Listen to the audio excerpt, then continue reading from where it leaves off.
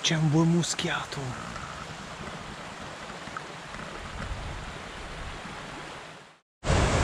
Ragazzi continuate a seguirci perché vi portiamo sempre in posti bellissimi